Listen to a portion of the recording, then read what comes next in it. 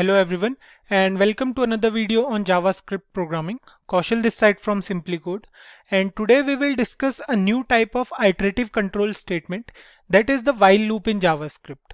In the previous video we discussed for loop in JavaScript. For loops are the most compact form of iterative control statements right. So we saw a practical program based on for loops. You can check out the video if you haven't checked it out already.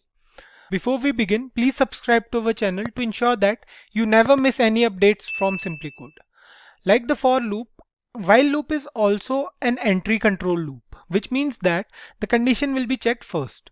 So the question here is how while loop is different from the for loop. If you guys remember when we discussed that we must know the exact number of iterations, then only we can use the for loop, right? So the while loop is preferred when we are not aware of the number of iterations or we can say we don't know if the condition will be true for a certain number of times. We'll start with the programming part now and then we will discuss more about when to use while loop over for loop.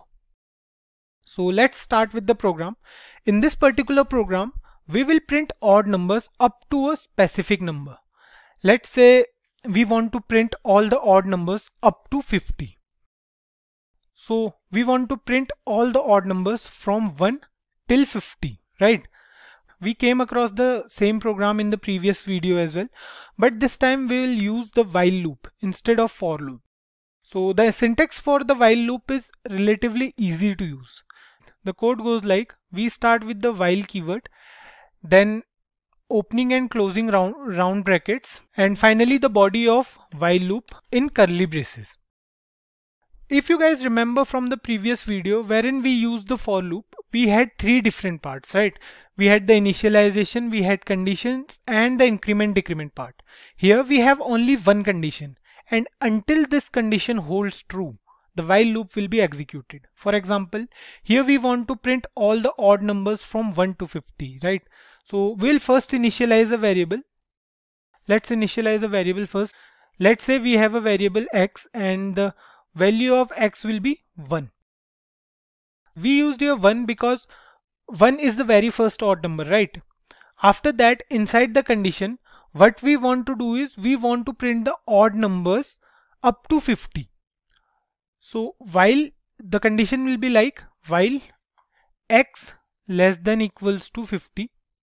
So the loop will go till x is less than or equals to 50 or we can say x less than 15 that depends on us if we want to check for 50 or not. So the odd numbers will go like 1 and then we have 3 then we have 5 then we have 7 and up to 50 so the last odd number will be 49 so inside the while loop we will print the value of x. So here we will print the value of x. Let's print it. Document dot write and inside this we will print the value of x inside the h1 tag.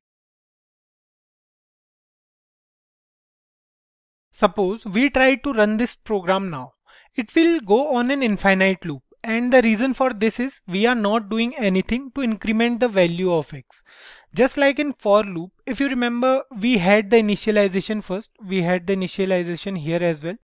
Then we had the condition we have a condition here as well.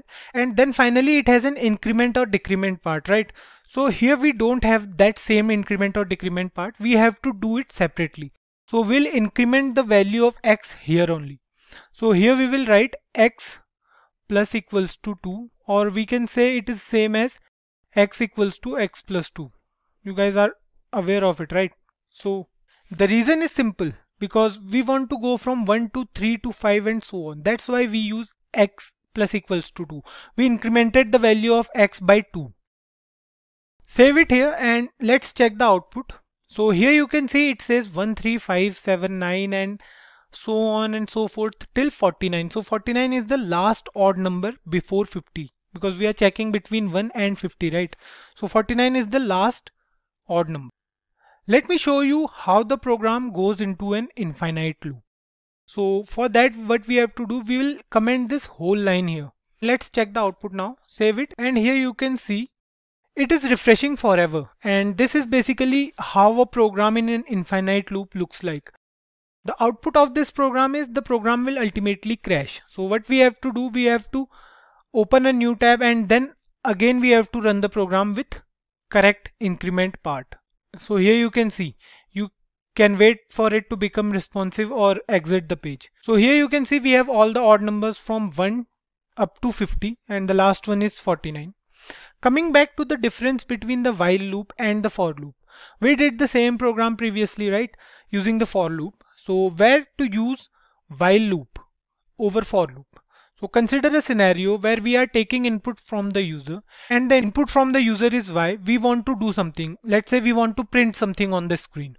Or if the input from the user is n, we want the process to be stopped.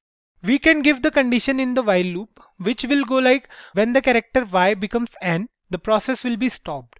We'll go through one such program once we are done with the DOM manipulation part wherein we take the input from the user so that's all for this video guys. See you in the next one where we'll go through the do while loop in JavaScript. If you liked this video, do give it a thumbs up, comment your doubts below, share it with your friends and don't forget to subscribe SimpliCode. Thank you.